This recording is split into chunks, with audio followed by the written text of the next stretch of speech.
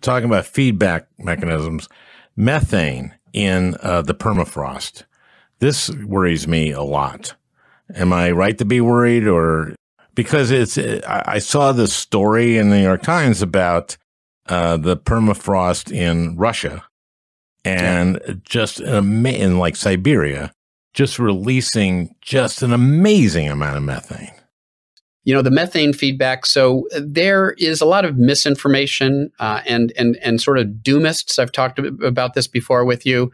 Uh, the people who are convinced it's too late to do anything about climate change because we're already seeing uh, irreversible runaway warming that's just not true. And that there's so much methane coming out of the arctic that that that we can't stop it and that we're you know, we are now doomed that uh, we will be extinct in a matter of years. I mean, these are some of the claims that you see out there in sort of what I call the doomosphere, the sort of doomist uh, outer reaches uh, of the blogosphere and social media. Mm-hmm. And there's some bad actors actually who are stoking uh, those fires uh, because if you can lead people down this path of hopelessness um, and despair, then you know you end up putting them on the sidelines when we need them to be on the front lines demanding action. And so we've got to get the science right here. We've got to correct the myths regardless of what side they come from. And in this case there are these doomist myths about methane that just have no basis in fact.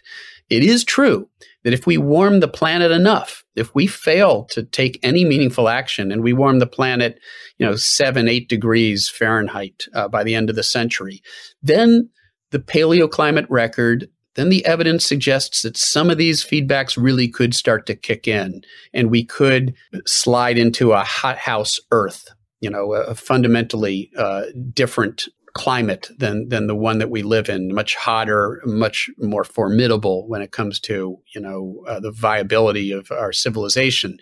But that is in a scenario of almost total inaction. If we keep warming below one and a half Celsius for sure, which is the target right now of these proceedings in Glasgow, but under two degrees or even three, which is almost a worst case scenario now. There's enough progress being made that we now think that even if there isn't much additional climate progress, just the fact that renewable energy is increasing exponentially and we are moving away from fossil fuels, you know, there's there's a great likelihood that we keep warming below three degrees Celsius. Even in that scenario, we don't get runaway methane spikes. And we know this because the Arctic was warmer uh, 125,000 years ago. Now, the planet probably wasn't warmer. The Arctic was warm because there was more sunlight at high latitudes. It has to do with changes in Earth's orbital geometry, uh, the same changes that govern the ice ages. But the Arctic in the summer was probably a few degrees hotter than it is now.